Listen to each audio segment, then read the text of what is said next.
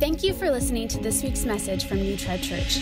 We hope you are both inspired and encouraged. To stay connected with us throughout your week, be sure to visit our website, download our app, or find us on Facebook and Instagram simply by searching for New Tribe Church.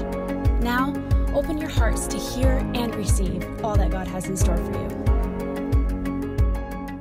And so, the last several weeks, we've been doing that. We've taken a swing at looking at what we are as a church. We are blank church. We are what church? We are a Holy Spirit receiving church. We are a Holy Spirit baptized church. We are a Holy Spirit filled church. And today we're looking at this word. We are a Holy Spirit led church. Look at your person next to you and say, let the Holy Spirit lead you. Go ahead and encourage them today. Let the Holy Spirit lead you.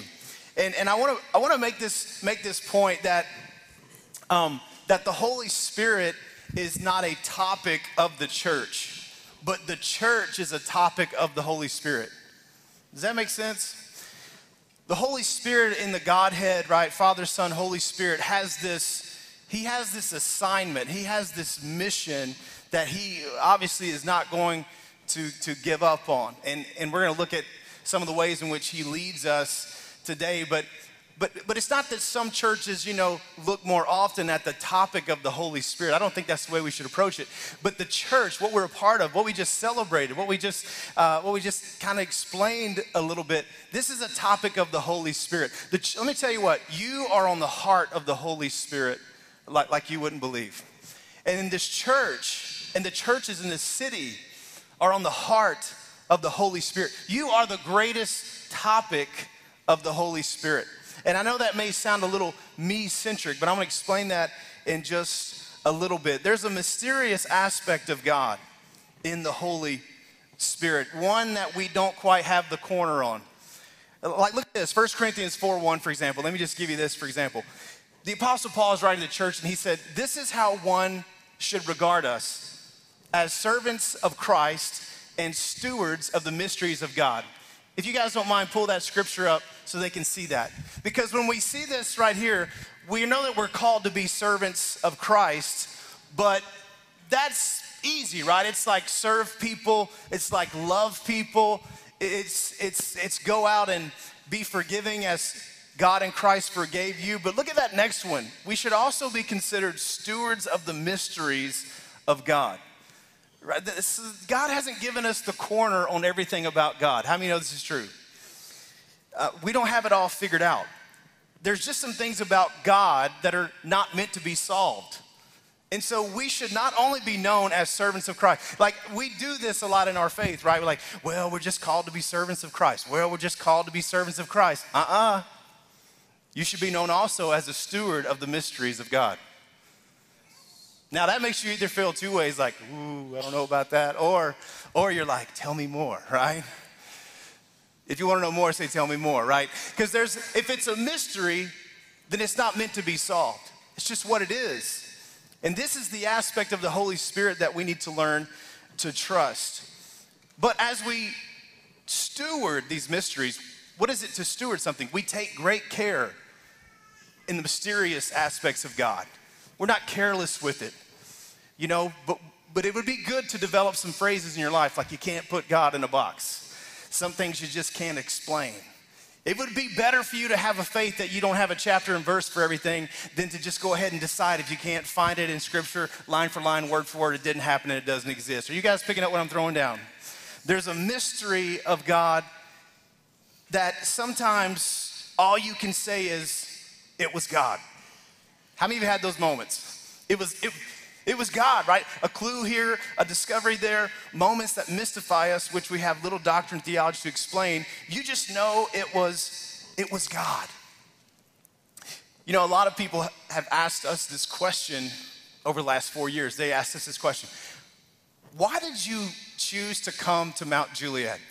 And when someone asks that question, my, my first thought is I just want to tell them it was God. But people like details, right? You like details?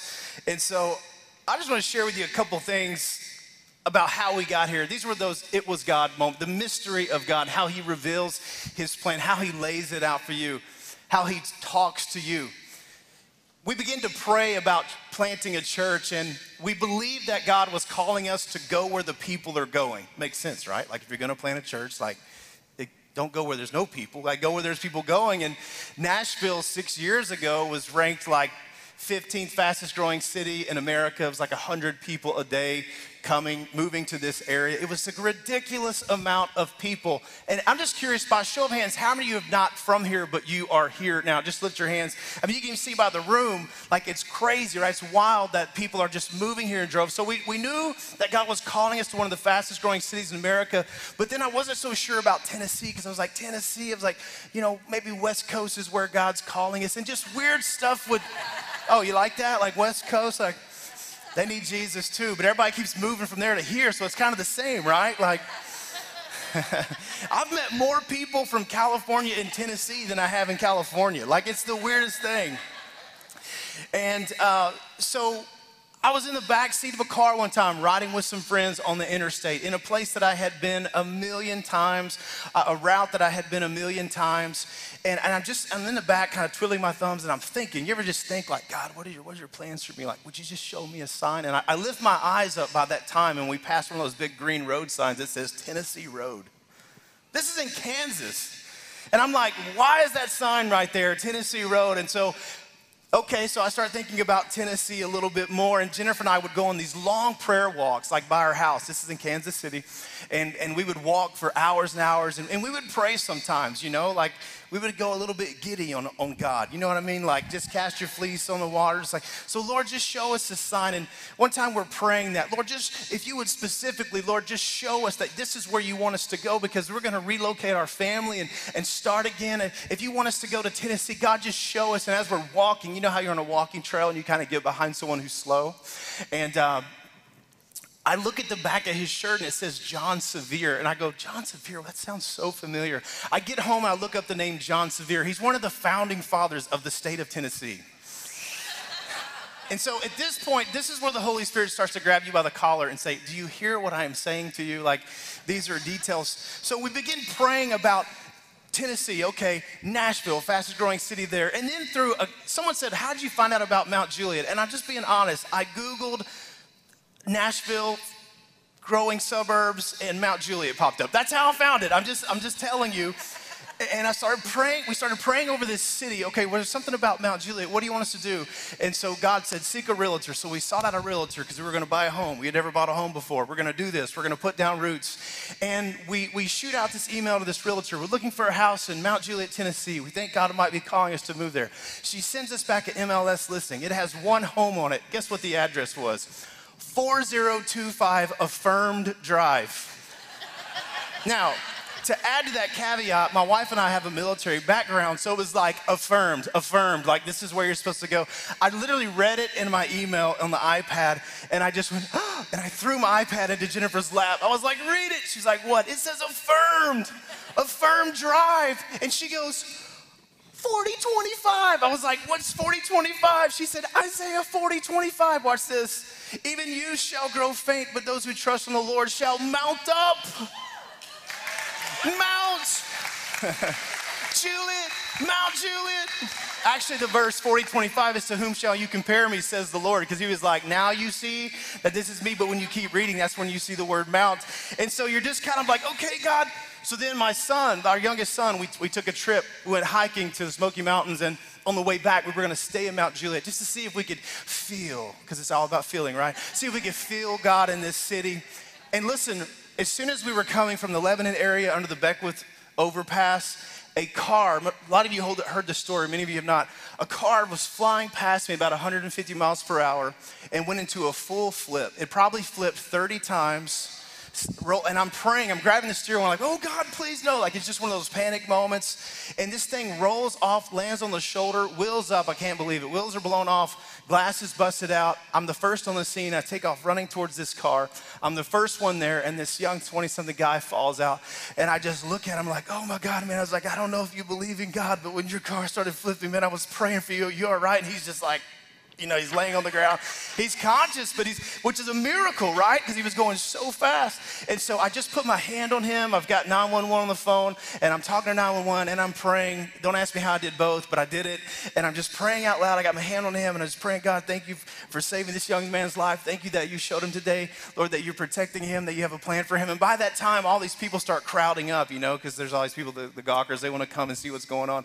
And as I'm praying on him, I'll never forget this. Like, one guy runs up with a baseball cap on, and he stops and takes his cap off and puts it over his heart, you know, like, he's like, is this guy praying his last rites? Like, what's going on here? And then right about the time I said amen, the EMTs were there. I stood up, I left, and the next exit was Mount Juliet. Now, I'm not saying God calls that to happen. I'm just saying the result of being in this city and that happening and me praying for that miraculous event that took place, I felt God. You guys hear what I'm saying? And so, all the way back home, I could not get this city off my heart and my mind. It must be Mount Juliet, God, that you're calling us to. You see, I, I can't now. You say, well, what scriptures you got to back that up? I don't, I don't. It was God. God was just speaking. God was just showing. He was hinting. Some, sometimes it was subtle. Sometimes it was not so subtle. And the, the final story I'll share with you is this, is that we finally decided, we met with our leadership. They laid hands on us just like this. They said, okay, we're going to send you uh, to Mount Juliet. And my lead pastor said, well, do you guys have somewhere to live? I was like, no. He's like, well, you better go down there and find somewhere to live. And I was like, that's a great idea. So, so we had been going back and forth with this realtor, and uh, we had three houses to look at. We drove from Kansas City. We had two days actually one day. We drove down on a Friday. We had Saturday to look. We had to go back. We drove down. We had three houses to look, look at. How about this is what happened? On the way down here, two of those houses sold. Welcome to Nashville, right? And so we began looking on Zillow, which the realtor was like, don't do that. But I, I did anyways. And, and I found a house and 5009 Porter Hurt Drive, and, and, and it wasn't even listed. It just said, hey, here's my number if you're interested for sale by owner. I told my realtor, I was like, hey, I know we lost two houses, and the one you have picked out for us, we don't want to go see that one anymore. Uh, we want to go see this one on Zillow. And she's like, I don't know. That's usually not the way things go. And I was like, I just had a feeling about it, because it's all about feeling, right? Like, and, and so we went to this house, and as soon as we pulled in the driveway, Jennifer was like, this is the one. This is the one. And we start walking around with the homeowner, the realtor. The realtor's like, don't act too excited. Don't show emotion. You know, don't tell him your story. And we're there for like five minutes and we're like, we just got to tell you guys honestly, we believe God's called us here to plant a church. And the realtor's like, you know, and he says to me, he goes, wow, that's crazy. He goes, the original owner of this house was a pastor. He lived here for 17 years. And I began to look around that room and I was like, the Bible study happened over there and the sermon prep happened over there. And I looked in the back and I imagined, you know, small groups of us gathering in that home. We made an offer, it was $10,000 under what they had pre- previously been offered. Uh, they accepted it. We had a house in less than 24 hours that we found on Zillow. Praise God. So, how did you you know, people, so people like, they quiz you, like, how did, how did you know God was calling you to Mount Juliet? I, I, if, unless I tell you all those stories, all I can do is look at you and say, it was God. We're not just servants of Christ, we're stewards of the mysteries of God. God speaks, God nudges, he gives you hints. He gives you, he gives you clues. Not only are you clueless, you're, you're also not cueless because God is like giving you cues and, and giving you clues. Now, there's a way that we can learn to trust his leadership because we're not just following after some, you know, move of the wind aimlessly. You know, we need to make our plans, by the way. Look at Proverbs 16 9. We can make our plans, we, we, we should, but the Lord determines our steps. Let me say this for the followers of Jesus, but the Holy Spirit determines our steps. You see, you go ahead and make your plans. And God will ever so gently nudge you and He puts you in the right direction and He will reveal to you the steps that He has determined for you. See, we get it wrong sometimes about our faith, and I want you to stay engaged with me here because there's a lot to unpack. Like, people will say things like, Oh, I'm just working through some things right now in my faith. Which is so wrong, right? It's so against scripture. I want to help you this morning. Look at this. We don't work out our faith alone, we walk out our faith with God. We, uh, by the way, we and with are two of the most important words in understanding what it means to be the church we and with. On the other hand, work and alone are two words that can get us in trouble in the church. Here's the thing we need God and we need each other. We don't work out our faith alone. If you've been in that place and you're in a rut, you're like, I'm just trying to work out some things with God. You're not meant to do it alone, but to walk with God, walk out your faith with Him. And, and what is it with all this walking? Well, the, the walking is actually good news. And here's why because we're not the walking dead, aimlessly walking around, uh, you know, it's like, although some of you may feel like that sometimes. We are a Holy Spirit led church. Say it with me. We are a Holy Spirit led church. Look at John 16. We've been looking a lot at Jesus in his last days with his disciples before ascending. And he said to them at one time, I still have many things to say to you, but you cannot bear them now. But when the Spirit of truth comes, he will guide you into all, somebody say all, into all the truth. So let me just ask you a question. When does the Spirit of truth come? Let me, let me share this with you. When you believe, when you receive, when you ask. Pastor Michael talked about last week how much more will the Father give the Holy Spirit to those who ask Him. Here's what I want you to understand that the Holy Spirit's presence in your life is not limited to a past, present, or future experience. God's presence is. Is what? It just is. The Spirit of God cannot be measured. Well, I had much this much then, and I uh, compared to this much now. No man can say of God, Well, I, I now have enough, or I have arrived, or I have no more need of God's presence than I already have. If you were to say that, hear what I'm saying, you would be the first one to solve the mystery of God. Did you hear what I just said? If you're like, well, I don't need any more of God, I've got all God that I need, you're the first one to say, I'm no longer a steward of the mystery because I've solved the mystery. Don't hang out with people like that because we're all stewards of the mystery. You say, How can you say that? That the Spirit of God cannot be measured? I didn't. John the Baptist actually prophesied this about Jesus. Look at John 3, verse 33. For Jesus gives the Spirit without measure. You know what that means? You can't measure it. you, you, can't, you, you can't figure out how much I have, how much I need, or how much I lack. You can only receive. Come on. You can only be baptized. Come on. You can only be filled. You can only be led, but you cannot measure the Spirit of God. Come on. I, I know that we all love Amazon, but, but you can't put God in a box. Listen to this. Maybe this will help you today. Let me just talk to the saved people in the room. When you are saved, you receive all that you need, but not all that's available. This is so important. And I would say right here that this would be a, a theological point that we as a church body would hang our hat on. Of course, you received all you need for salvation. You're not getting in heaven without the Spirit of God. Newsflash. You don't have it in you to get in. this is why the Father sent His Son into the world, right? To save you and to get heaven in you. And you got all you need, but how many know there's more available? Why? Because the Spirit of God cannot be measured. Bottom line, there's more to be discovered about God. There's more to be revealed about God. Watch this, stay with me. And there's more truth about God that you've yet to discover. You say, How can you say that? I didn't. Jesus did. Did you miss it? John 16, 13. When the Spirit of truth comes, he will guide you into all. Somebody say all. All the truth. All the truth I thought the truth is all you need. No, all the truth is all you need. I just want you to consider this. If Jesus walked through those doors right there and he came and he stood in the room and he said, I would like everyone here who knows the truth to stand up. Hopefully, all of us or most of us would stand up. Like, I know the truth. We would all stand up. But then, if he were to say, Now, which one of you knows all the truth, please remain standing. I will be the first to sit down. Anybody with me? And hopefully you would too. What I'm getting at is there are some things about God that I believe to be true, that I know to be true, but the Holy Spirit shows me all things about God that are true. Let me just give you some practical examples like, like growing up. I've always believed there was a God. I never had a problem with that. Had some weird ideas about God. Anybody else? But I always believed there was a God. The Holy Spirit has shown me that God is a Father. I've always known I was a sinner. No one ever had to tell, explain to me that you're a sinner. I was like, oh, I get that part.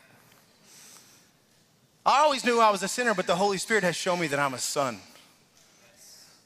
Are you seeing this pattern?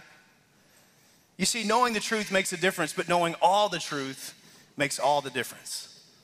And there's only one who can help you with this problem, church. And his name is the Holy Spirit. Look at John 16, 13 again. He will guide you into all the truth.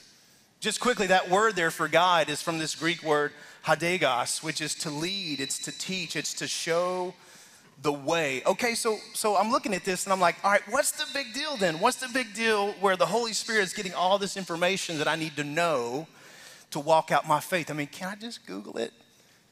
No, you can't Google it. Where is he getting all of this information that you need?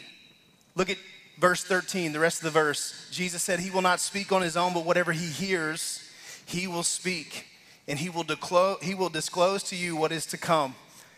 And I was thinking this week, like, I don't know if you realize this or not, but not only is there a, a place in heaven, there's, there's a line in the book, book of life that is made for your name, but there is a real time conversation happening at this very moment in heaven about you, what you are destined for. Come on. The steps it will take to get you there. And, and this is beautiful, and, and a plan for helping you complete the good works that God has prepared in advance for you to do. It's going on in real time. And the Holy Spirit has access to a conversation between the Father and the Son that you just don't have access to. But if you will trust His leadership, learn how to hear from Him, not only just hear what He's saying, but watch for those signs and feel those nudges from time to time, you will begin to see that actively He is revealing to you the steps that God has laid out for your life. Say amen if you believe that.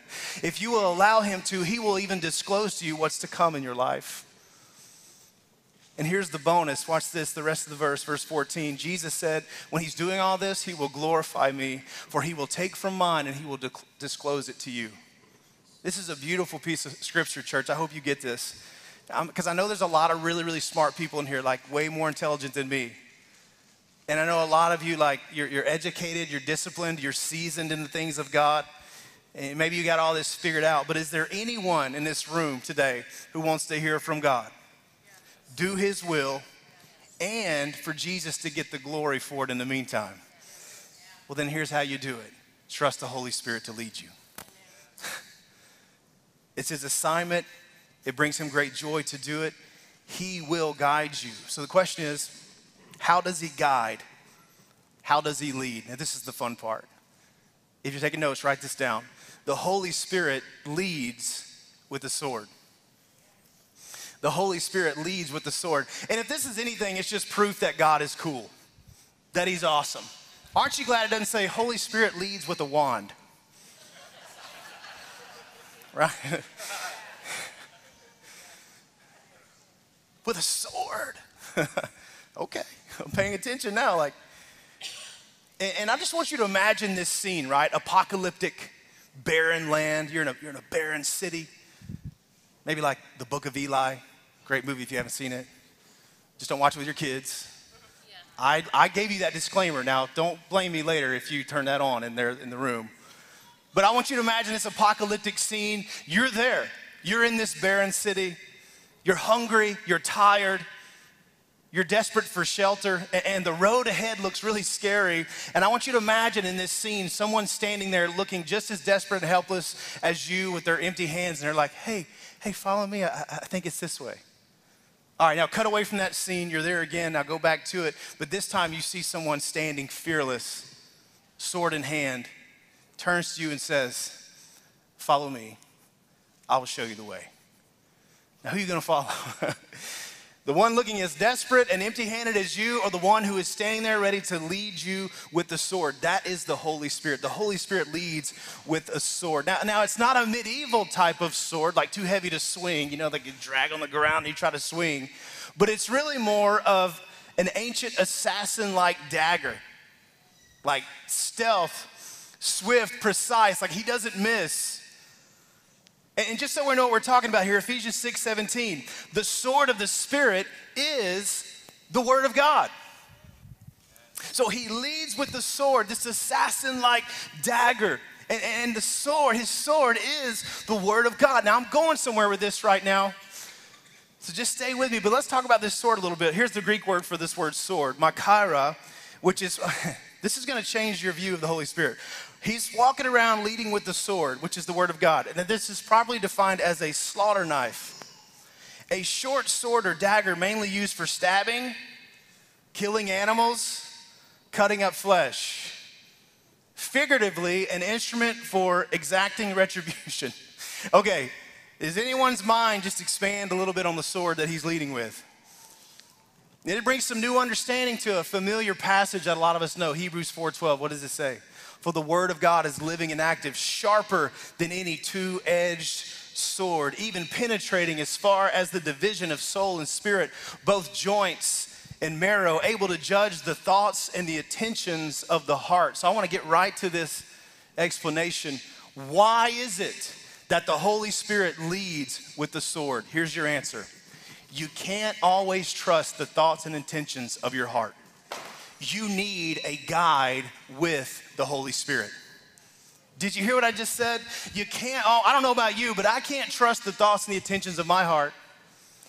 And there are a lot of people right now, you got to stay with me. Look, if you call yourself among the faithful right now, there are a lot of people right now, they are turning away from what it really means to follow Jesus. Let me tell you why. They've got another leader, and it's not the Holy Spirit. They got another leader, and he's not walking around with the sword. They're trusting in something else, and it's all about what they're feeling or what seems right. And they're not letting anyone or any part of God come and cut and prod. Oh, you didn't know God wanted to cut you to little bitty pieces, tenderize your heart so that you could receive the truth. The Holy Spirit leads with a sword. But what about our thought? Oh, well, just, you know, let's think good thoughts. Let's have great intentions. Good thoughts and great intentions get people killed. And if you're leaning on your own good thoughts and your own intentions, you're not trusting the leadership of the Holy Spirit, who will take God's word and will put it next to your heart and say, I know how you're feeling, but I want you to see what I'm saying. And that's where the work begins. There are too many of us come on, in the church trying to work this thing out alone. Ah, I'm just working through some things with God right now. Like the Bible's kind of my hang up. I got some real big questions. And I'm like, who are you gonna ask? like, are you gonna ask someone else who's standing there just as desperate as you are with empty hands? Or are you gonna ask the one who is standing there with a sword in hand, ready to lead and show you the way? Ready to speak to you. God's word, God's heart. God's truth, God's will, which will sometimes split your thoughts and intentions right in half. You see, when we trust with those who have no sword, we get nowhere. And I know, I know this about myself, and this is my confession. I hope some of you can relate. Like, God knows me too well to leave me alone with the thoughts and intentions of my heart. So, He has provided for me a leader with a sword, and His name is the Holy Spirit. I, wanna, I want you to invite the Holy Spirit to your next quiet time. I learned a couple of years ago never to open up my Bible without inviting the Holy Spirit to come and to help me. I'm not educated enough. I've got the degrees. I've read the books, lots of them. But I'm not going to take out his sword and pretend like I know how to use it without Him showing me how.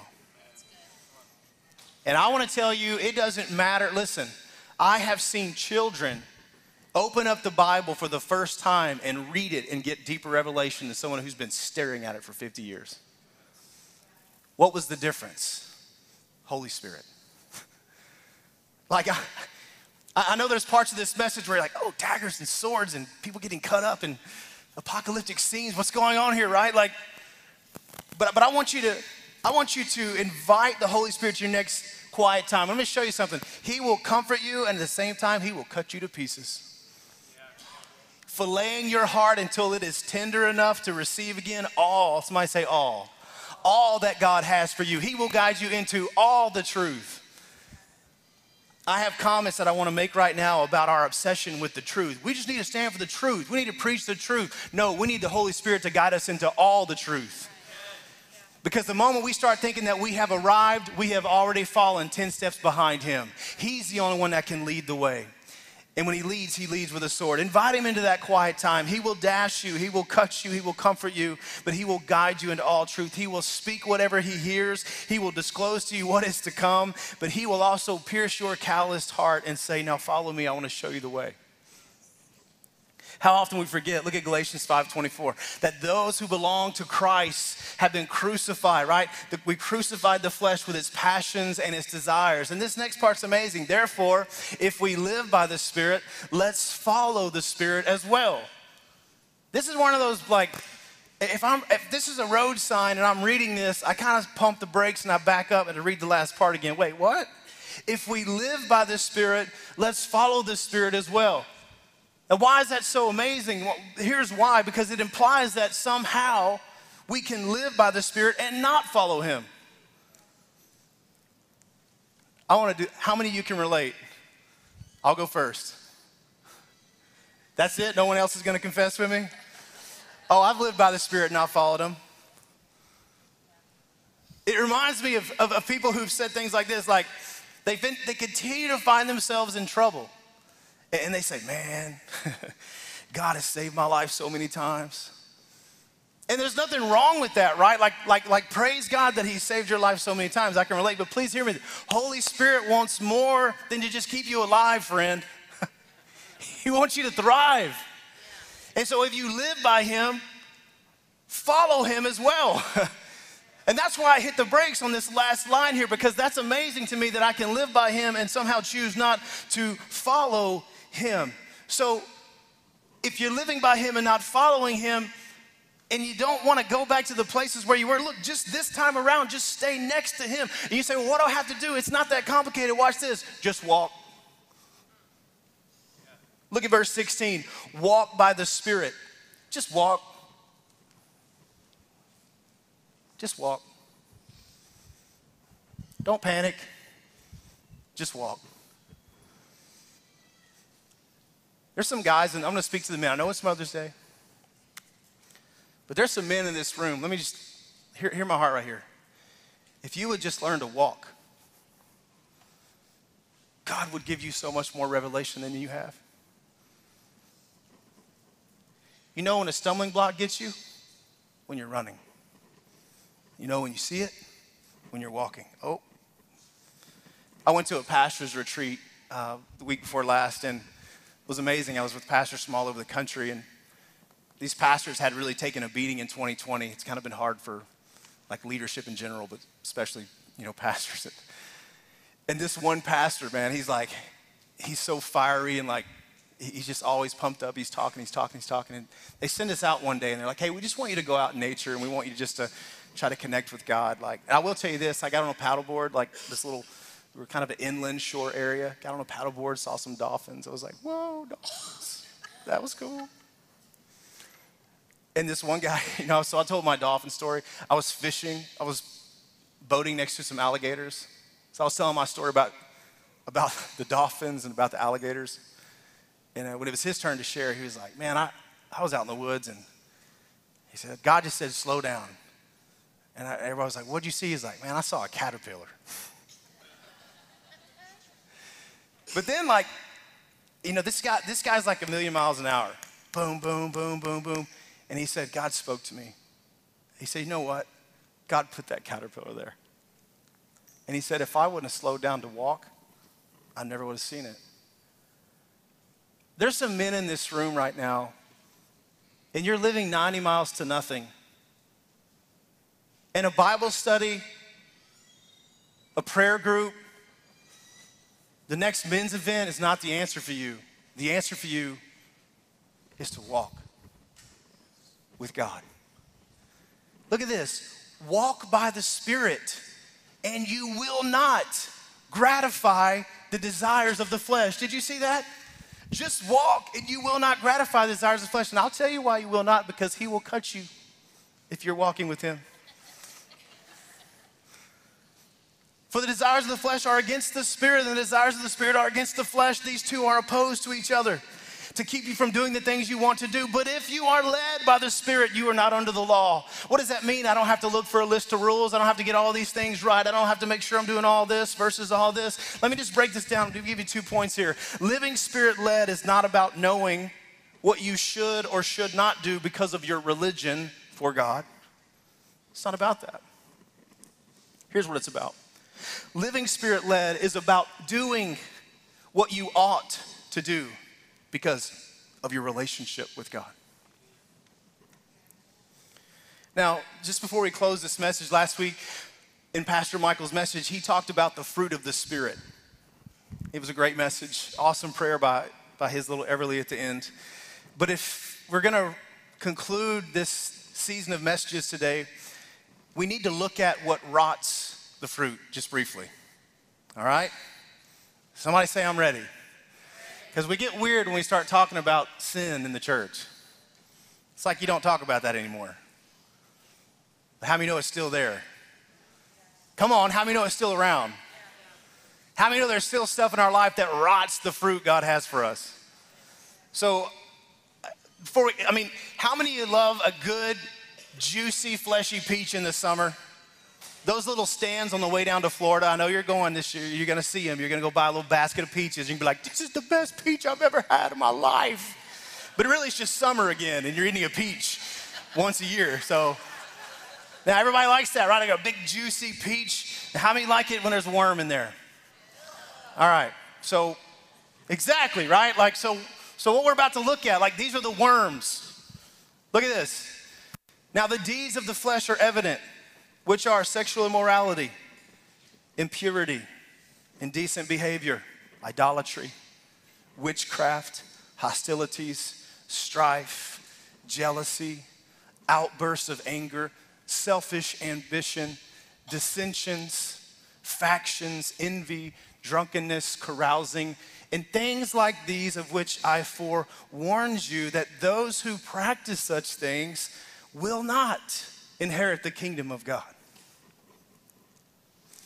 Now, I know when I read that that it, it messes with some of you. But I gotta tell you, these are the worms that rot the fruit. And so here's what we've learned about the Holy Spirit so far He wants to cut you and deworm you. How many still want it to be Holy Spirit led church? Come on, say it with me. We are a Holy Spirit led church. He knows the worms that are going on in your life. I don't have time to go through and define all of these. Look, he's giving you conviction in regard to sin, righteousness, and judgment. I don't have to go and unpack all this stuff. He knows what parasitic worms are crawling around your heart. And he wants to deworm you. You're like, that's gross. I'm like, I know.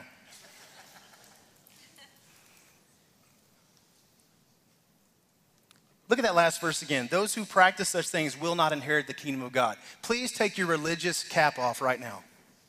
Let me tell you what this is saying. We cannot receive all God wants for us in the spirit if we practice only what we want in the flesh.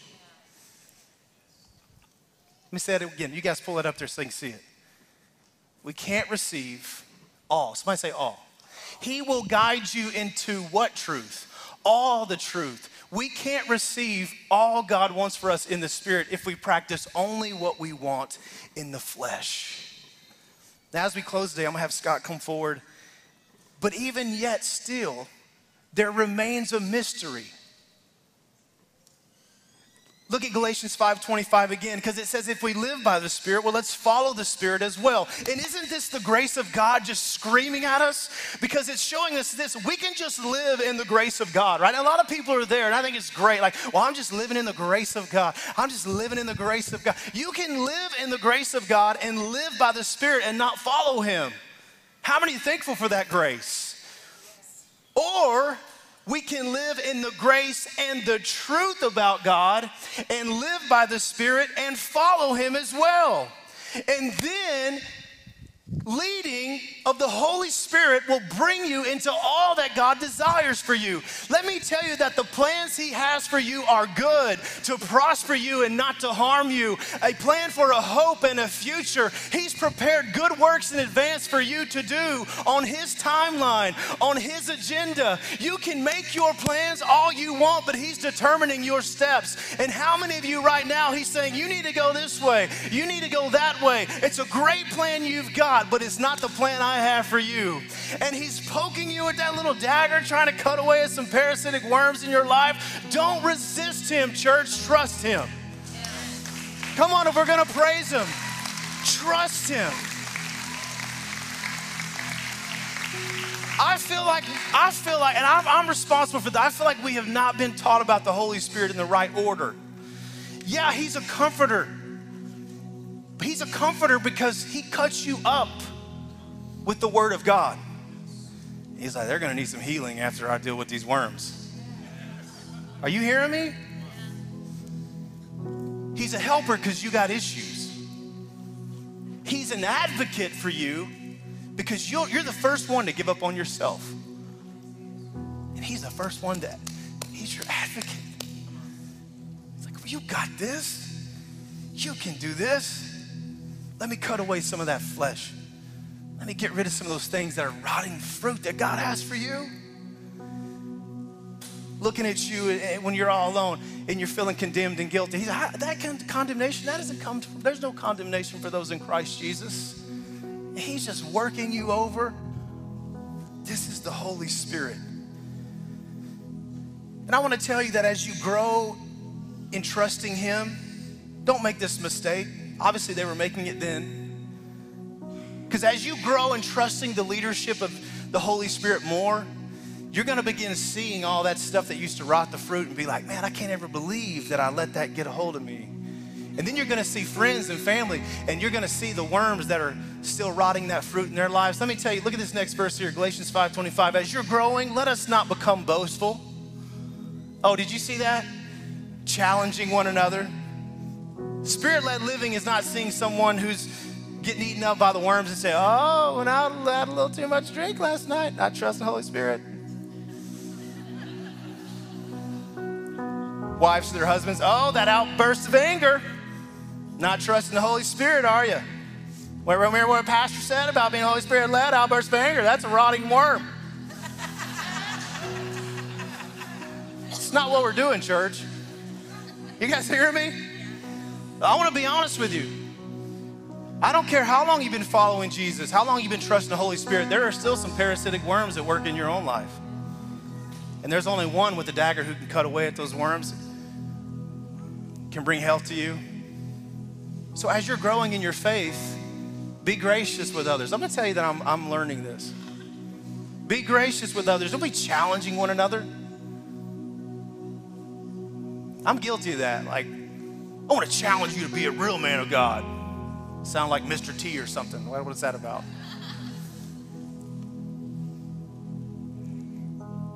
Church, if we get this right, this city will be transformed because you will be transformed.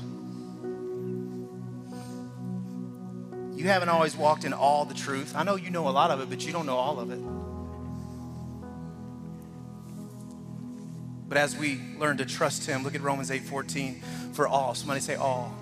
For all being led, those who are being led, those who are doing it right, those who are doing it wrong, for all who are being led by the Spirit of God, these are the sons and daughters of God. Let me tell you something. This is my final point right here. This side of heaven, this is about leadership. This is about leadership of the Holy Spirit. This side of heaven, you will never meet a greater leader than the Holy Spirit.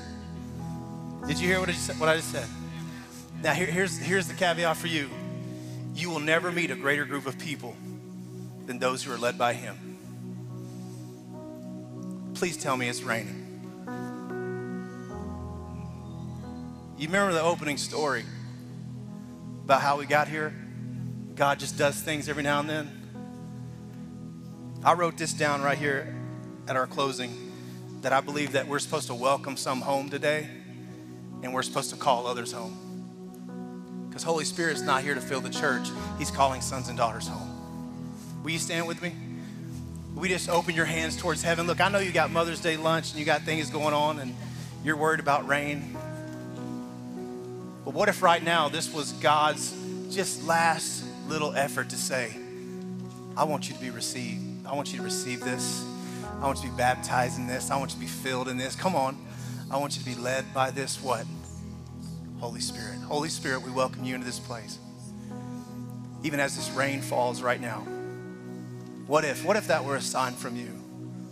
Come on. I see men of God right now being washed clean of their iniquity. Right now, I see parasitic worms evade, they are being evicted in your heart in the name of Jesus. Holy Spirit, get them right now. Just fill those hearts that, that have been calloused are being softened right now by the dagger of the Holy Spirit. Women in here who have, who have been, we talked about this, you've been praying, you've been interceding for, for things. There are things on your heart that God has heard your cry. And don't quit doing that. Holy Spirit, fill those who are drained. Fill them up. You know what's great about this, this picture of rain as we get ready to close? I ask Pastor Mike to come forward, but don't open your eyes just yet. Is that it saturates everything that it touches. And so as you leave here today, and that rain hits you on the way out, let it remind you of the refreshing outpouring of His Holy Spirit. But don't just soak it all up. Trust Him to lead you this week. We are a Holy Spirit led church. We just stay there for a moment and just let us soak in this rain of His good presence.